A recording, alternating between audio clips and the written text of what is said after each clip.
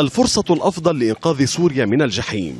هكذا وصف وزير الخارجية الأمريكي جون كيري لقاء فيينا المرتقب لبحث التوصل إلى حل سياسي للأزمة السورية. هذه التصريحات